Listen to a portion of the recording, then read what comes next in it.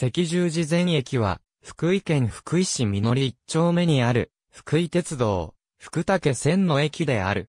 駅番号は F18。福井新駅時代島式ホーム一面2線を有する駅で、7時から9時まで駅係員が配置されている。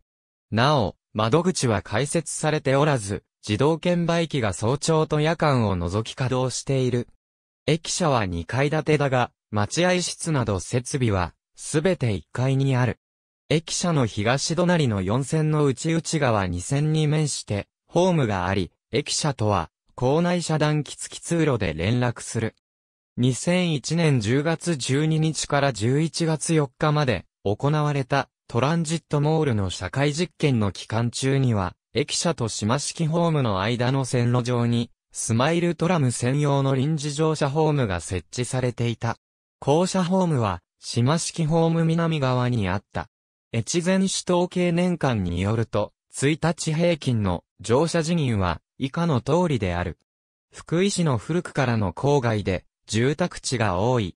東に北陸本線と日本貨物鉄道南福井駅があるため、東側の市街地とは地下道で連絡している。1980年代まで構内一番線から南側へ大和宝石福井工場の専用線があった。この線は南へ約300メートルほど進んだところでスイッチバックし、現在のフェニックス通りを斜めに横断し工場に至る約 1km のルートであった。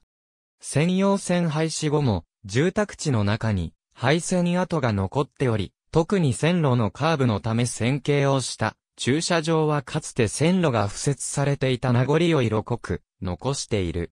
このほか、福井赤十字病院からも利用可能な路線がある。詳細は病院の項目を参照。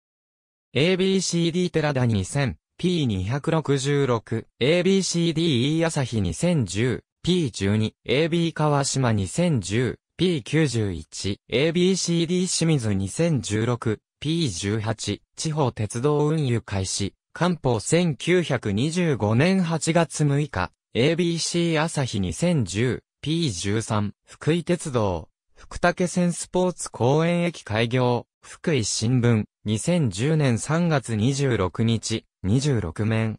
駅のご案内福井鉄道清水2016 P45 ありがとうございます。